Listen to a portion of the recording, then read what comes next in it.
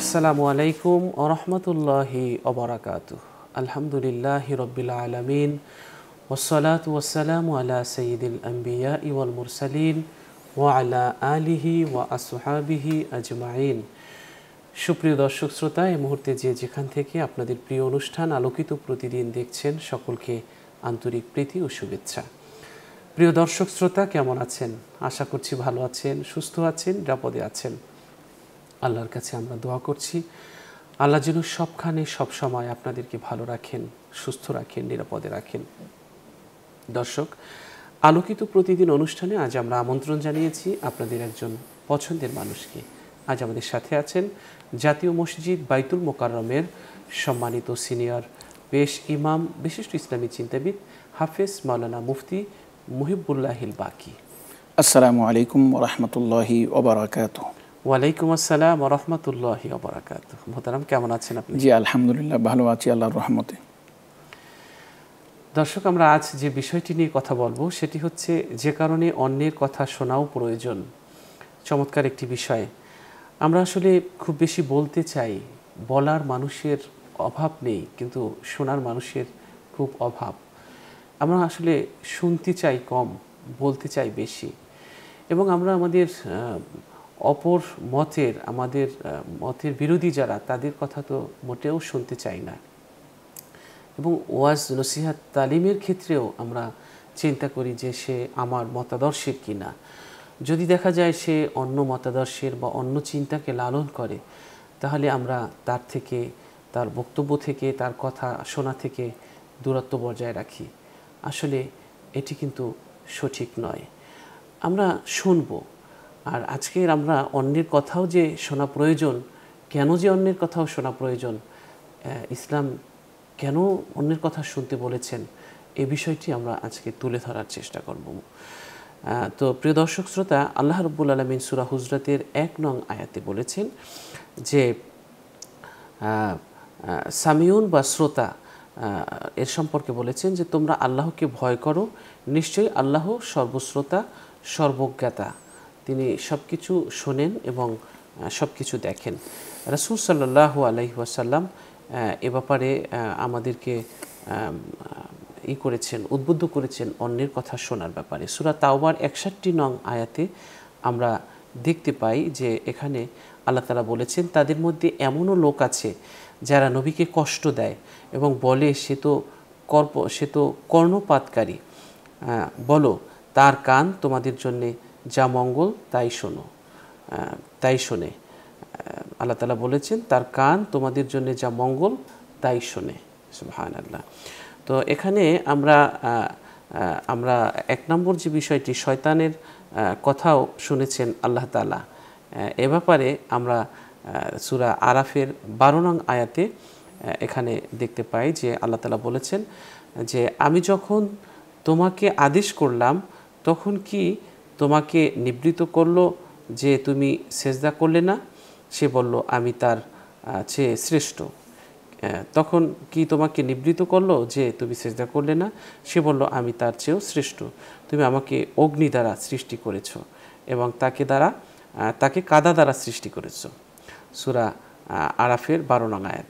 এখানে আল্লাহ তালা কিন্তু এই যে ইবলিস যেটি বললেন, সেটি কিন্তু আল্লাহ তালা শুনেছেন।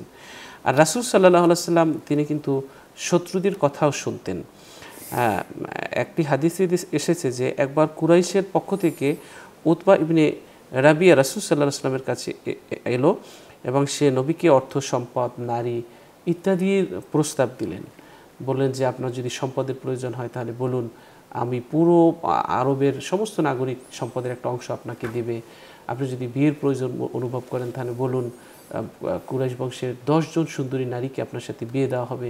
আপনি যদি সম্মানের প্রয়োজন বোধ করেন, তাহলে বলুন, আমরা আইন করে আপনাকে পৃথিবীর সবচেয়ে সম্মানিত ব্যক্তি বানিয়ে নেব। আপনি যদি ক্ষমতার প্রয়োজন অনুভব করেন, বলুন, আমরা সবাই মিলে আপনাকে বাচ্চা বানিয়ে নেব। আপনি যদি নিরঙ্কুশ নেতৃত্বের অধিকারী হতে চান, বলুন, আমরা সবাই মিলে আপনাকে আপনার বাড়ির সামনে, দরজার সামনে আমাদের বিজয়ের পতাকা এনে গেড়ে দেব। আপনি হবেন নিরঙ্কুশ নেতৃত্বের অধিকারী। বলুন, নবীজি তখন এই উৎবাইবনী রবিয়ার এই লোভনীয় প্রস্তাবের জবাবে বলেছিলেন, দুটো হাদিসে এভাবে বর্ণনা এসেছে, তাবরানি শরীফ এসছে তাবরানি শরীফের হাদিসে এসছে, নবীজি বলেছেন যে, সূর্যের আগুন দিয়ে যদি একটি মশাল জ্বালিয়ে এনে আমার হাতে দাও, তবুও আমাকে এই লোভনীয় প্রস্তাব দিয়েছ, এর বিনিময়ে কোরআনের দাওয়াত থেকে আমাকে ফিরে থাকতে হবে। এটা আমার পক্ষে সম্ভব নয়। সূর্যের আগুন দিয়ে মশাল জ্বালিয়ে এনেও যদি হাতে দাও, তবুও সম্ভব নয়, কারণ এই আমানত আল্লাহ আমাকে দিয়েছে। বাইহাকি শরীফ আরেকটি হাদিসে নবীজি বলেছেন যে, তোমরা যদি আমার বাম হাতে সূর্য আর ডান হাতে চন্দ্র এনে দাও, তবুও এই দায়িত্ব আমার পক্ষে ছেড়ে দেওয়া সম্ভব নয়, কারণ এই দায়িত্ব স্বয়ং আল্লাহ তালা আমাকে দিয়েছেন। তো এখানে উৎমাইবনি রবিয়ার যেই লোভনীয় প্রস্তাবগুলো ছিল এবং যে কুটো চাল ছিল, সেগুলো কিন্তু রসুল সাল্লাহ আলাইসাল্লাম শুনেছেন। তো এভাবে করে সবার কথা নবীজি শুনেছেন। মোমেন হলো একজন আদর্শ শ্রোতা, সে সবার সবার কথা শুনবে। আত্মবিশ্বাসীরা সবসময় শোনার বিষয়ে মনোযোগী হন। এরপরে যারা মনোযোগী শ্রোতা যারা, তারা সহজে সুপথ খুঁজে পায়। অনেকে আছে, সারা জীবন বেপথে চলেছে, কিন্তু কোথাও কোনো একটা জিনিস সে শুনেছে। ওই যে তার ভিতরের জগৎকে, চিন্তার রাজ্যে যে আন্দোলন শুরু হয়েছে ওই চিন্তার রাজ্যে একটা পরিবর্তন এসে গেছে এজন্য শুনতে হবে বেশি বেশি শুনতে হবে চলুন কেন অন্যের কথাও শোনা প্রয়োজন ধর্মের কাছ থেকে শুনছি জি মোহতারাম আলহামদুলিল্লাহ রবিল আলমিন ওসলাত ওসালাম আলা আশরফিল আম্বিয়া ওয়াল মুরসালিন আম্মা বাদ فأعوذ بالله من الشيطان الرجيم بسم الله الرحمن الرحيم الذين يستمعون القول فيتبعون أحسنه أولئك الذين هداهم الله وأولئك هم أولو الألباب صدق الله العظيم অন্যের কথা কি কি কারণে শুনতে হবে,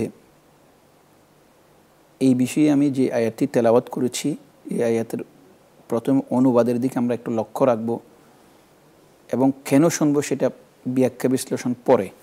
আল্লাহ পাকুবুজুদ বলেন আল্লাদিন ইস্তামি আল কৌল ওই সমস্ত ব্যক্তি যারা অন্যের কথা শোনে ফাইয়াত্তাবিউন আহসানা, সেই উক্তির মধ্যে কথার মধ্যে যদি কোনো ভালো কিছু থাকে সেটা অনুসরণ করে, তার মধ্যে গুণামি থাকে না। উলাইকাল্লাদিন আহদাহুমুল্লাহ আল্লাহ বলতেছেন, আল্লাহ তাদেরকেই সঠিক পথ দেখান এবং তারাই বিজ্ঞ এবং জ্ঞানী হয়ে থাকেন।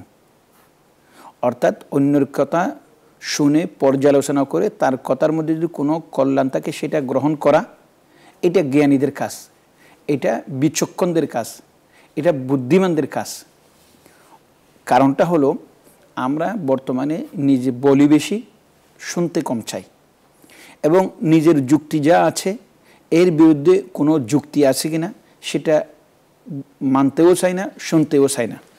যার কারণে দেখেন এই যে অন্যের কথা শুনতে চাই না, অন্যকে আত্মপক্ষ, সমর্থনের সুযোগ দেওয়া হয় না, তার পক্ষে কোনো যুক্তি থাকতে সেটা বিবেচনা করার কোনো সুযোগ আমাদের মধ্যে থাকে না, সেটার কারণে প্রত্যেক স্তরে বিপর্যয় হয়ে গেছে।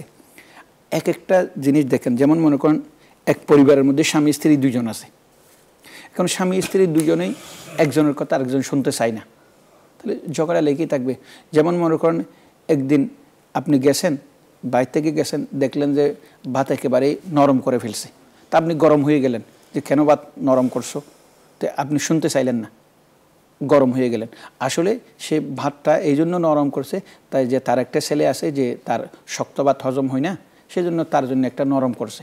কিন্তু আপনি শোনার আগেই তার উপর গরম হয়ে গেছেন, তুমি সবসময় এরকম নরম ভাত পাক করো, এটা আমার জন্য খাইতে চাই না, সেজন্য তুমি আমার আমার, আমি না খাওয়ার জন্য এসব ব্যবস্থা করো। অর্থাৎ আপনার স্ত্রী তার পক্ষে যুক্তি দেওয়ার আগে আপনি গরম হয়ে গেছেন, যার কারণে আপনার স্ত্রী আপনাকে জীবনও আর বিশ্বাস করবে না এবং মনে করবে সে ভালো করলেও আমার জন্য যা, খারাপ করলেও তা।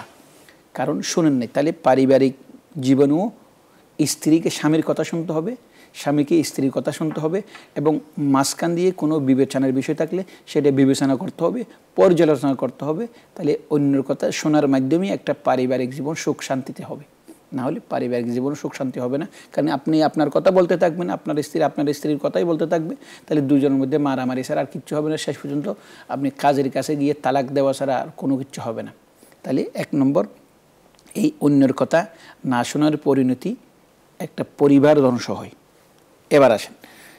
এই যে আমরা বর্তমানে যে ওয়াজ মাহফিলের মধ্যে আমরা এক বক্তা আর এক বক্তাকে গালি দিচ্ছি, প্রত্যেক বক্তার নিজস্ব কিছু যুক্তি আছে। আমি যে এরকম কঠোর হয়ে এর বিরোধিতা করতেছি, অথবা আরেকজনের কঠোর হয়ে যাবে তার পক্ষপাতিত্ব করতেছে, হয়তো বিষয়টা ততটুকু কঠোরও না, ততটুকু ছেড়ে দেওয়ার জিনিসও না। মাঝখানে একটা অবস্থান আছে। তাহলে আমরা এক একজনে এক এক দিকে কি হয়ে গেছে? সীমা লঙ্ঘনকারী হয়ে গেছে, চরম হয়ে গেছে। যার কারণে আমাদের ওয়াজ মাহফিলগুলো বর্তমানে মানুষের জন্য একটা হাসির উপজীব্য হয়ে গেছে অনেকাংশে। সব বক্তাদের কথা আমি বলব না। কেন? এটা কেন হলে আপনি বুঝতেছেন? আমরা আরেকজনের কথা শুনতেছি না। আমি আমারটা বলে যাচ্ছি। যেমন আপনি দেখেন এই নামাজের পরে মোনাজাত করার ব্যাপারে। এক পক্ষ বলতেছে, নামাজের পরে মোনাজাত করলে, সে বেদাত করল, সে একেবারেই আল্লাহ রসুল থেকে দূরে সরে গেল, এইরকম এরকম আরেকজন বলতেছে, আমরা নামাজের পরে মোনাজাত করব না, আর কখন করব। তাহলে দুই পক্ষের মধ্যে, এক পক্ষ আরেক পক্ষের কথা শোনা নেই। না শোনার কারণে এই একটা মুস্তাহাব কাজ নিয়ে মসজিদ বাক হয়ে গেছে। ইমাম বাগ হয়ে গেছে। মুসলমান বাগ হয়ে গেছে। এই আমাদের মধ্যে বিশৃঙ্খলার কারণে এই সুযোগটা আমাদের যারা শত্রু আছে, আমি বলব না যে হিন্দু শত্রু, বৌদ্ধ শত্রু, এটা বলব না। আমি বলব যে যারা আমাদেরকে ক্ষতি করতে চাই তারাই শত্রু। তাদেরকে আমরা একটা সুযোগ করে দিলাম। কেন? আমরা একজনের কথা আরেকজন শুনতে চাই নাই। আমরা যদি মাঝখানে বলতাম যে রসুল ইসলাম নামাজের পরে মোনাজাত করে নাই সেই জন্য মোনাজাত না করলেও কোনো অসুবিধা নেই। আবার নামাজের পরে একটা আবাদত করার পর আল্লাহর কাছে চাইলেও অসুবিধা নেই। এটাকে তো এত বাড়াবাড়ি কাড়াগাড়ি সাড়াসাড়ির মধ্যে রাখার দরকার নেই। মাঝখান দিয়ে আমরা একটু ইচ্ছে করলে করো, ইচ্ছে করলে ছাড়ো। এটা করার জন্য, না করার জন্য এত বেশি বাড়াবাড়ি করার দরকার নেই। তাহলে আমরা যদি এটা বলতাম, তাহলে মুসলমান মনে করতে হ্যাঁ দেখেন, অবস্থাটা এমন হয়ে গেছে বর্তমানে, এক ব্যক্তি বেনমাজি, সুদ খায়, ঘুষ খায়, তার সাথে আমার ওঠা বসা আছে। কিন্তু আমি যদি মোনাজাত না করি, যে ব্যক্তি মোনাজাত করে, তার সাথে আমার ওঠা বসা নেই। আবার আমি যদি মোনাজাত করি, যিনি করেন করেন, তার সাথে আমার উঠা বসা নেই। আপনি বলেন, মোনাজাত করা, না করা বেশি অপরাধ? নাকি সুদ খাওয়া, ঘুষ খাওয়া, জুলুম করা, এটা বেশি অপরাধ? কিসের কারণে? ওই আমি যে মোনাজাদের পক্ষে গেছি বা মোনাজাদের বিপক্ষে গেছি, এই যাওয়ার মধ্যে যে সরম উত্তেজনায় পৌঁছে গেছি এবং আরেকজনের কথা যে শুনতেছি না, তার জন্য আমাদের ধর্মীয় ওয়াজ মাহফিল, এটাও নষ্ট হয়েছে মুসলমানের মধ্যে একটা আরেকজনের প্রতি যে একটা কী থাকবে, উদারতা থাকবে, এক মুসলমান আরেক মুসলমানের প্রতি যে সহমর্মিতে থাকবে, এক মুসলমান আরেক মুসলমানের প্রতি যে ভ্রাতৃত্ব থাকবে, এক মুসলমান আরেক মুসলমানের মধ্যে যে একটা আদর মোহাব্বত থাকবে, এটা নষ্ট হয়ে গেছে কিসের জন্য? শুধু বলেন আপনি, নিশ্চয়ই বলবেন। শুধু একটি কারণ, সেটা হলো আমি, আমার প্রতিপক্ষ যিনি আছেন, তার কথা আমি শোনার জন্য রাজি হচ্ছি না। আমি আমার যুক্তি দিয়ে আছি। এমনকি আল্লাহ পাকবুজত আপনি জানেন, আল্লাহ যে আপনি বলেছেন, আল্লাহ তো কারও কথা শোনার প্রয়োজনও পড়ে না এবং আল্লাহর যুক্তির সামনে কারও যুক্তি টিকবেও না। তারপর আল্লাহ পাকবুজত যখন আদম সৃষ্টি করতেছেন, তখন বলতেছেন যে, আমি ইন্নি জায়লুন ফিল আরদে খলিফা। আমি দুনিয়ার বুকে খলিফা সৃষ্টি করব।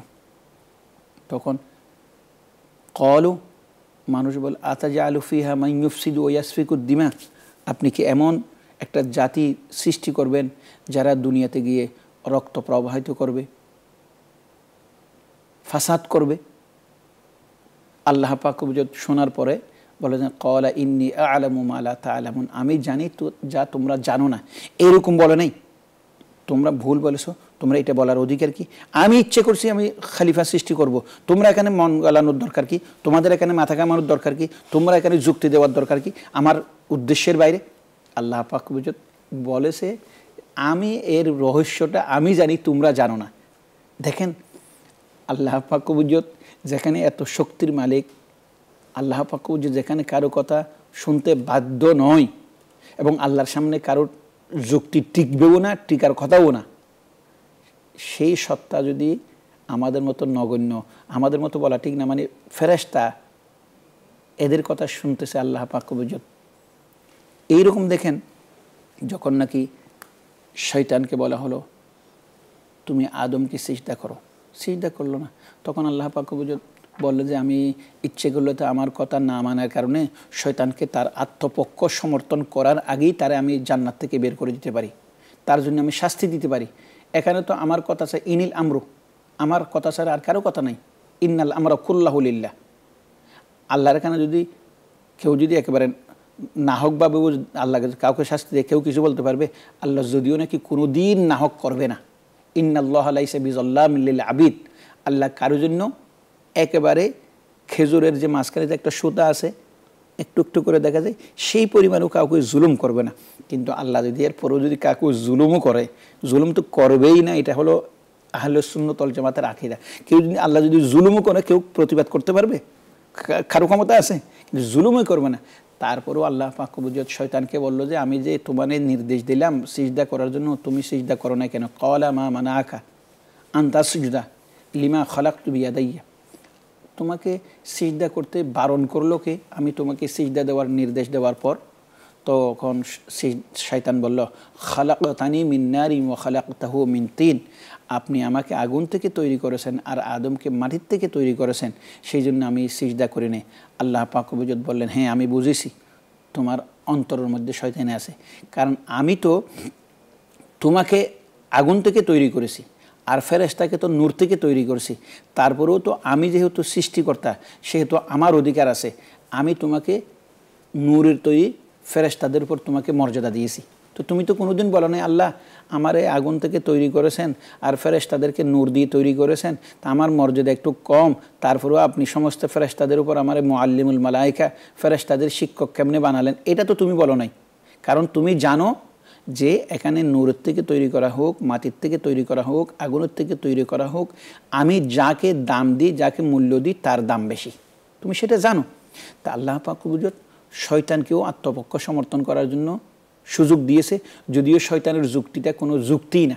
কারণ শয়তান জানা যায় এখানে আগুনের থেকে তৈরি হোক, মাটির থেকে তৈরি হোক, নূরের থেকে তৈরি হোক, এটার কোনো দাম নাই। আল্লাহ যাকে মর্যাদা দেয়, তারই দাম। এটা শয়তান জানে না। তারপরেও আল্লাহ পাক্যবুজত শয়তানের কথা শুনলেন। বলে, দেখি সে কোনো কিছু বলে কি না কোন কোন দৃষ্টিকোণ থেকে সে আমার নাফরমানি করছে। দেখি কোনো ক্ষমা করার, তার কথাকে কোনো মেনে নেওয়ার, তারকে শাস্তি থেকে বাঁচানোর কোনো উপায় আছে কিনা দেখি। দেখল যে না, একেবারেই সে চরম বেয়াদবি করে ফেলেছে। দেখেন, আল্লাহ পাকুবুজত নিজে কারও কথা শোনার অপেক্ষা রাখে না প্রয়োজন পড়ে না, তারপরেও মানুষকে আত্মপক্ষ সমর্থন করার জন্য সুযোগ দিয়ে থাকে। এমনকি রসুল পাক সাল্লাহ আলহি ওয়াসাল্লাম ইহুদিদের কথা শুনতেন অমুসলিমদের কথা শুনতেন। কে কি বলে সেইগুলি শুনতেন। কারণ রসুল পাক ইসলাম জানেন যে শোনার পরে যদি তাকে আমি যুক্তি দিয়ে বোঝাই, সে হয়তো শুনবে। আমি যদি তার কথা শোনার আগেই যদি তারা আমি গায়েল করতে থাকি, সে তো আর কোনো দিন আসবে না, আমার দিকে, দিনের দিকে। আল্লাহ পাকুবুজত বলেন, ওয়া ইন জাদ আলুকা ফকুরিল্লাহ আলামু বিমালা তা আলামুন আল্লাহ পাকুবুজত বলেন, এই সমস্ত ব্যক্তি যারা অযৌক্তিক তোমার সাথে তর্ক করে, তখন তুমি আর অযৌক্তিক কথার এত বেশি উত্তর দিতে চাইও না। তো অযৌক্তিক তর্ক করো মানে অযৌক্তিক কথাগুলি শুনছে রসুল। হ্যাঁ তুমি তখন বলে দাও, আল্লাহ আলম আল্লাহ তালাম তোমরা যা বলতেছো, আল্লাহ জানে, তোমরা জানো না। অনর্থক এগুলি নিয়ে তোমরা বাড়াবাড়ি করতেছো, একটা সমাজের মধ্যে বিশৃঙ্খলা সৃষ্টি করতেছো। সেরকম দেখেন শুধু এটা ধর্মীয় বিষয় না, পারিবারিক বিষয় না। রাজনীতির মধ্যেও যখন আমরা রাজনীতিবিদরা অসহিষ্ণু হয়ে যাই, একজনের কথা আরেকজনের শুনতে চাই না, তখন সেখানেও চরম উত্তেজনা সৃষ্টি হয়ে যায়, সেখানেও একটা অশান্তি সৃষ্টি হয়ে যায়। সবসময় যখন আপনার আপোষকামিতা থাকবে, একজন আরেকজনের কথা শুনবেন, একজন আরেকজনকে মর্যাদা দেবেন একজন আরেকজনকে গুরুত্ব দিবেন। সেই সমস্ত রাষ্ট্রগুলো উন্নতি করতেছে, উন্নত হচ্ছে। কারণ সহিষ্ণুতার একটা বড় গুরুত্ব রয়েছে। আপনি কথা শোনার মধ্যেও অসহিষ্ণু, ছাড় দেওয়ার ব্যাপারেও অসহিষ্ণু, সুযোগ দেওয়ার ব্যাপারেও অসহিষ্ণু। তাহলে আপনি আর আমার আপনি আর অন্য হিংস্র জন্তুর মধ্যে পার্থক্যটা কোথায়? মনুষ্যত্ব মানি হলো ছাড় দেওয়া আরেকজনকে, আমি যতটুকু পারি। আর বড় তো সেই হয় যে ছাড় দিতে পারে, যে আরেকজনের কথা শুনতে পারে, আমরা যখন কি করি না, ওই বিয়ে মধ্যে আগদ করি না আগদের সময় আমরা একটা আয়াত পড়ি, সেটা হলো কি আউদুবিল্লাহ হিমিনা শেতন রাজিম, ইয়া ইউহাল্লাদিন আমানুত্তাকুল্লাহ ওকুল ও কাউলান সাদিদা হে মান্দারগণ আগদের সময় যে আয়াতটি পড়ি, আল্লাহকে বই করো অকুল ও কাউলান সাদিদা তোমরা সত্য কথা বলো। যে সত্য কথা কেই বলতে পারে? সে আরেকজনের কথা শুনে বাদ বিবেচনা করে পর্যালোচনা করে, সেই তো সত্য কথা বলতে পারে। যে প্রথম থেকে বদ্ধমূল ধারণা নিয়ে একটা জিনিসকে ভুলকে সত্য মনে করে নিছে, সেই কোনোদিন সত্য কথা বলতে পারে? কোনোদিন বলতে পারে না। সেজন্য আল্লাহ পাকুজত বলেন আউদুবিল্লাহমিনা শেতন রজিম। ইয়া আল্লাদিন আমানু ইনজা কুম ফাসিকুম বিনাবাইন ফাতাবাইয়ানো। হে ইমানদারগণ, তোমাদের কাছে কোনো যখন ফাসিক আসবে, তার কথাগুলি শুনবে, ফাতাবাইয়ানো, তোমরা পর্যালোচনা করবে। তারপরে তোমরা ফিতনা থেকে, বিপর্যয় থেকে কোনো রকমের ত্রুটি থেকে কোনো রকমের বড় অঘটন থেকে বাঁচতে পারবে। প্রথম থেকে যদি নাই শোনো, আমাদের ওই ছোট্টকালে একটা ঘটনা পড়েছি। মানে বোঝার আগেই সিদ্ধান্ত নেওয়া, শোনার আগেই সিদ্ধান্ত নেওয়া, সেটার একটা ক্ষতিকর দিক। যেমন আমাদের এটা ছোটোকাল আমাদেরকে পড়াইছে আর কি। এক ব্যক্তি এক মহিলা তার বাচ্চাটাকে রেখে বাইরে গেছে। তো একটা বিড়াল ছিল। তো বিড়াল ঘরের আসার সাথে সাথে দরজার মধ্যে দেখতো বিড়ালের মুখের মধ্যে রক্ত। মহিলাটা মনে করল হাইরে এই এই বিড়ালটা তো আমার ছেলেটারে কামড়াইছে, দুধের বাচ্চাকে কামড়াইছে, সঙ্গে সঙ্গে দিছে একটা বাড়ি। বুঝার আগেই বিড়ালটা মারা গেছে। তো শেষে ঘরে ঢোকার পর দেখল যে না, নিজের বাচ্চাটি গেছে। বাচ্চাকে কামড়ানোর জন্য, সন্তানকে কামড়ানোর জন্য একটা সাপ এসেছিল। সাপটাকে এই বিড়ালে আক্রমণ করে, শেষ করে দিছে। নিজের বাচ্চাকে রক্ষা করার জন্য সে কষ্ট করছে এবং আঘাত পাইছে। এখন আর চিন্তা করলে কোনো লাভ আছে? বোঝার আগেই তো আপনি সিদ্ধান্ত দিয়ে দিলেন, শোনার আগেই তো সিদ্ধান্ত দিয়ে দিলেন। আমাদের অঘটনগুলো ঘটতেছে এখান থেকে। সেই জন্য মোহাম্মদুর রসুল্লাহ সাল্লাহ আলী আসাল্লামকে আল্লাহ পাকবুজ বলেন আল্লা দিন ইস্তামি ওন আল কৌল ফাইয়াত্তাবি ওন আহসানা। ওই সমস্ত ব্যক্তি যারা পরের কথা শুনে পর্যালোচনা করে ফায়াত্তাবি ওন আহসানা। তার মধ্যে যেগুলি উত্তম, সেগুলো তারপরে কি করে? সে অনুসরণ করে। অতএব পরের কথা না শুনলে পারিবারিক জীবন, সামাজিক জীবন, ধর্মীয় জীবন, রাষ্ট্রীয় জীবন সবগুলির মধ্যে একটা বিপর্যয় এসে যাবে এবং এই পরের কথা না শোনাটা এবং তার যুক্তিগুলো না শোনাটা এবং কারও আত্মপক্ষ করার সুযোগ না দেওয়াটা, এটা হলো একজন মানুষের জন্য সবচাইতে বড় অসহিষ্ণু হওয়ার আলামত। আমরা কথা শুনব, কিন্তু আমরা মন্দ কথা শ্রবণ করব না এবং দিনের কথা শ্রবণ করব। এটাই যথেষ্ট না, অন্য বাহ্যিক জিনিসগুলো আমরা শুনব, কিন্তু মন্দ কথা আমরা পরিহার করব এবং মন্দ যে আসরগুলো আছে, সেই মন্দ আসরগুলো আমরা পরিহার করব। আর আপনি চমৎকারভাবে বলছিলেন, তো মুমিন আদর্শ শ্রোতা হয়। মুমিনরা কিন্তু তারা কিন্তু শোনার বেলায় অনেক সফট হয়। আর রাসুল সাল্লাহ সাল্লাম যখন বক্তব্য দিতেন তখন সাহাবাইকেরাম এমনভাবে তার বক্তব্য শুনতো মনে হতো যেন মাথায় একটা পাখি বসে আছে। একটু নড়াচড়া করতো না যেন পাখিটা উড়ে যাবে। অর্থাৎ একটা শব্দ যেন হারিয়ে না যায়। এই জন্য পাখি যেভাবে লাড়াচড়া করলে উড়ে যে যাবে সেই ভয়তে নড়াচড়া করে না ঠিক তেমনি একটা শব্দ যেন হারিয়ে না যায় সেজন্য স্থিরভাবে শুনতেন। তো আমরা আসলে এখন মানুষ শুনতে চায় না। এই যে এত বেশি ওয়াজ মাহফিল সেমিনার সভা এত কিছু হয় কিন্তু মানুষ আসলে ওই রকমের যে শোনার একটা ই সেটা কিন্তু আপনি শোনার মতো কিন্তু অনেক ভালো কন্টেন্ট এখনও আছে। আপনি যেটা দুইটা কথা বলে ফেলেছেন একসাথে। দেখেন অন্যের কথা শুনতে হবে আবার অন্যের অযৌক্তিক কথা আপনি সেগুলি খণ্ডনও করতে যাবেন না। কারণ আপনি সেখানে শুধুমাত্র সময় নষ্ট করবেন। সেজন্য আলী রদি আল্লাহ তালাহু বলেন লও জাদ আল তো আলফা আলিমিন ফাগালাব তো আলহিম ওয়ালো জাদ আলা জাদ আলানি জাহিলুন ফাগালাব আলাইয়া। হজরত আলী রদিল্লাহ তালাহু বলেন, এক হাজার বিশেষজ্ঞ ব্যক্তি যদি আমার সাথে অ্যালোমের মোবাহাসার মধ্যে আসে, আলোচনার মধ্যে আসে, আমার আশা আমি এক হাজার আলেমের উপরে বিজয়ী হব। কিন্তু এক মোরক্ষ ব্যক্তি যদি আমার সাথে দ্বন্দ্ব করে, আলোচনাতে লিপ্ত হয়, তাহলে সেই মোরক্ষ ব্যক্তি কি হবে? বিজয়ী হবে। অতএব পরের কথা শুনতে হবে, তার মধ্যে কোনো কিছু পাওয়া যাওয়ার সম্ভাবনা থাকলে। আর সে যদি নিরেট মোরক্ষরের মতো কথা বলে সেই জন্য আল্লাহ পাকবুজুদ বলেন আউদুবিল্লাহ মিনা শৈতান রজিম। ওয়া ইদা খাতাবাহুমুল জাহিলুনা কলু সালামা। যখন নাকি তোমাকে কেউ মূরক্ষ ব্যক্তি যারা অযৌক্তিক কথা বলতেছে, সেইগুলি তুমি খণ্ডনও করতে যাবে না। কারণ সে তো তোমার যুক্তি শোনার জন্য, তোমার কথা শোনার জন্য, বোঝার জন্য বলতেছে না। সে আগে থেকে অন্ধকারের মধ্যে রয়েই নিজের অন্ধত্বকেই সে প্রতিষ্ঠা করার জন্য চাচ্ছে। নিজেই সে অন্ধকার প্রতিষ্ঠা করার জন্য চাচ্ছে। অতএব সেগুলো শোনা যাবেন এক, দ্বিতীয় নম্বর, আরেকটা জিনিস আপনি বলেছেন, সেটা হলো শোনার একটা আদব। শোনার আদব মুহাম্মদুর রসুল্লাহ সাল্লাহ আলিয়াল্লাম যখন বক্তব্য দিতেন সাহেবাই কারাম রদিয়াল্লাহ তালানহম কুম একাগ্র চিত্তে শুনতেন। এমনকি আপনি বলেছেন যে মাথার উপর যদি একটা পাখি বসে থাকে, নড়াছড়া করলে যে পাখিটা উড়ে যাবে। সেই জন্য একজন মানুষ পাখি যেন উড়ে না যায়, সেই জন্য যেরকম চুপ মেরে বসে থাকে। তদরূপ রসুল পাক ইসলাম কথা বলার সময় একটা শব্দও যেন ছুটে না যায় সেই রকমভাবে একাগ্র হয়ে বসে থাকেন। এটা সাহাবাই কারাম রদি আল্লাহ তালানহমের বৈশিষ্ট্য। অতএব কোনো ভালো কথা যখন আসবে, তখন আমাদেরকে সেইগুলি খুব গুরুত্ব দিয়ে শুনতে হবে। কারণ ভালো কথা আপনি শোনার অভ্যাস আমাদের কমে গেছে। সেটা বলার কারণে আমার আবার নতুন একটা বিষয় বিষয় আমার মনে পড়েছে। বর্তমানে দেখবেন যে যেই সমস্ত ওলামাই কারাম, যে সমস্ত বিজ্ঞ ব্যক্তিগণ যৌক্তিক কোরআন, হাদিসের আলোকে কথা বলতেছেন, তাদের শ্রোতাও কম, তাদের ওয়াজের মধ্যে হাদিয়াও কম।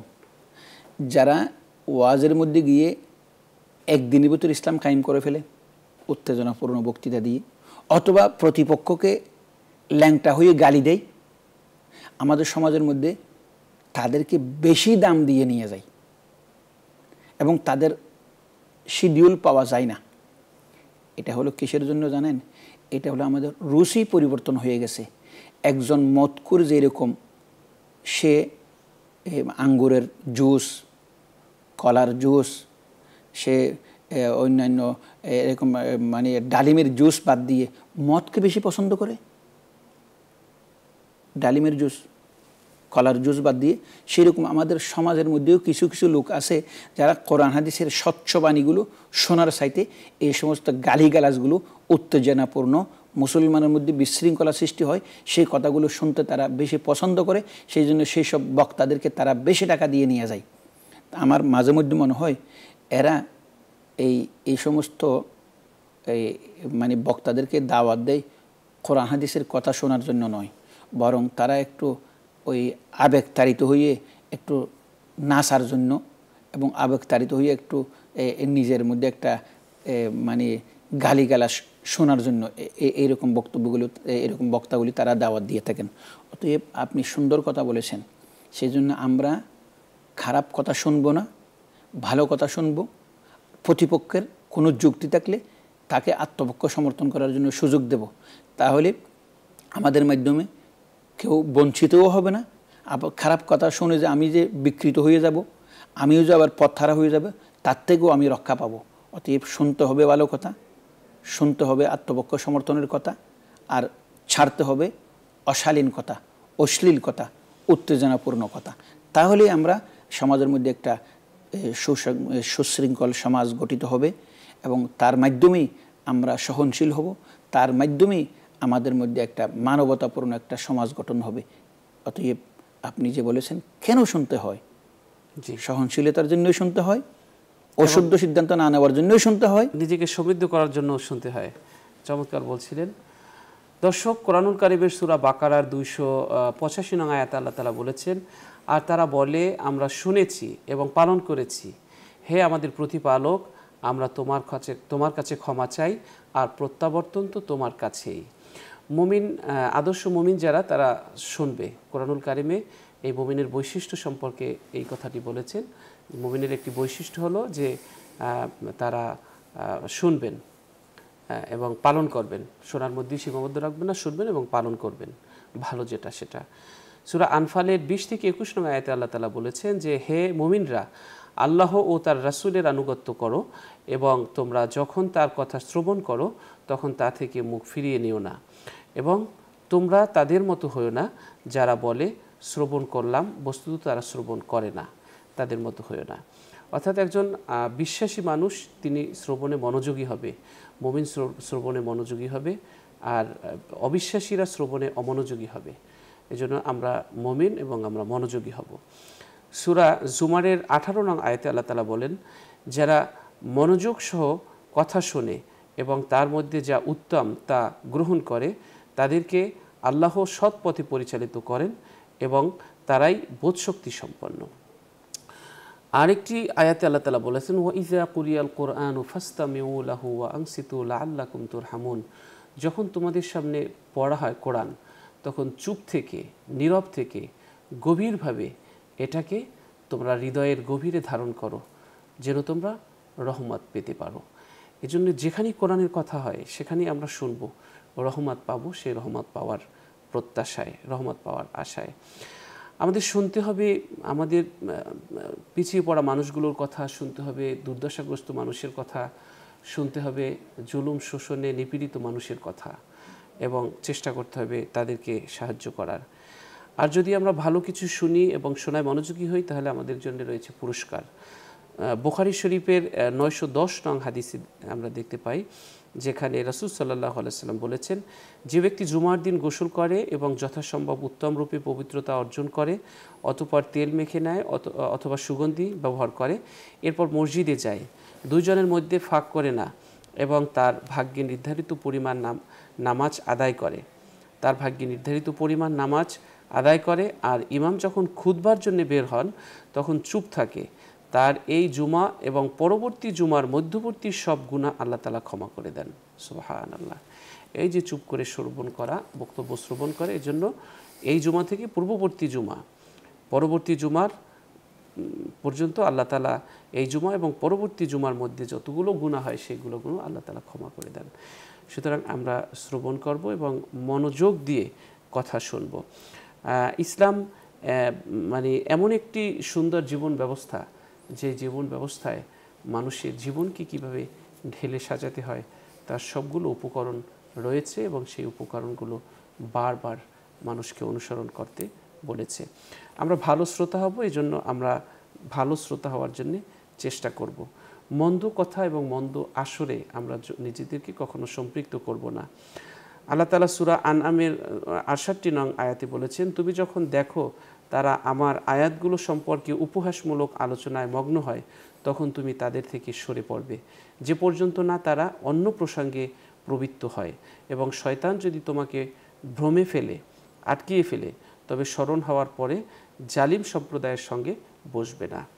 তো আমরা ভালো কথা শুনবো মন্দ আসর পরিহার করব মানুষের কথা শুনবো আল্লাহ তৌফিক দান করুন দর্শক অনুষ্ঠানের এই পর্যায়ে একটি মোনাজাত করব আপনারা যে যেখান থেকে আমাদের এই অনুষ্ঠান দেখছেন চাইলে আপনারাও আমাদের সাথে মোনাজাতে শরিক হতে পারবেন اللهم صل على سيدنا ونبينا وشفينا وحبيبنا ومولانا محمد صلى الله عليه وعلى آله وأصحابه وبارك وسلم الحمد لله الحمد لله رب العالمين والصلاة والسلام على سيد الأنبياء والمرسلين وعلى آله وأصحابه أجمعين. ربنا آتنا في الدنيا حسنة وفي الآخرة حسنة وقنا عذاب النار. اللهم آنيس وحشتي في قبري اللهم ارحمني بالقرآن العظيم واجعله لي إماما ونورا وهدى ورحمة. اللهم ذكرني منه ما نسيت وعلمني منه ما جهلت وارزقني تلاوته آناء الليل وآناء النهار. واجعله لي هجة يا رب العالمين মহিয়ান গরিয়ান সর্বশক্তিমান দয়ালু দাতা আপনি সাহায্যকারী আপনি ক্ষমাকারী আপনি ও- অভিযোগ অনুমোদনকারী আপনি হাকিম আপনি মহাজ্ঞানী রব্বুল আলমিন আমরা ফকির আপনি ধনী আমরা ফকিরের মতো কাঙ্গালের মতো অভাবীর মতো গুণাকারী, খাতাকারী, সিয়াকারী, আপনার শাহী দরবারে ভিকেরির মতো হাত পেতে দিয়েছি গো আল্লাহ।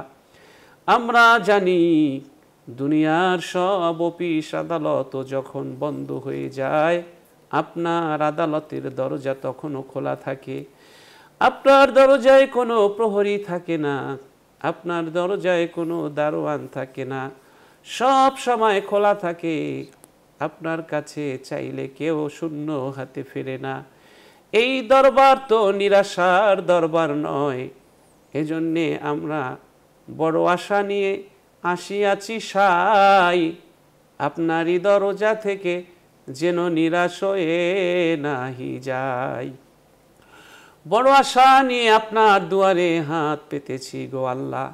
আপনি আমাদের জানা অজানা সেরেক বেদাত শয়তানের ধোকায় পড়ে নফসের তারনায় পড়ে যত ধরনের গুণা করেছি গো আল্লাহ, সমস্ত গুণা খাতা আপনি মাফ করে দিন। অনেক বেশি গুণা করেছি, গুনার দিকে তাকালে মনে হয় আপনি আমাদের এ কবরে আজাব দিবেন। আল্লাহ, আপনি মাফ করে দিন। এ অনুষ্ঠানের পৃষ্ঠপোষক বসুন্ধরা গ্রুপের চেয়ারম্যান, আল্লাহ তাকে কবুল আর মঞ্জুর করে নিন।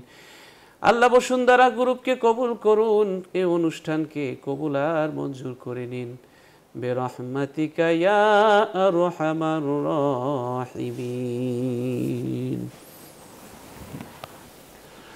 দর্শক, আজ আমরা এখানেই শেষ করছি। আল্লাহ হাফিজ। আসসালামু আলাইকুম ওরহমতুল্লাহি ওবরাকাতুহ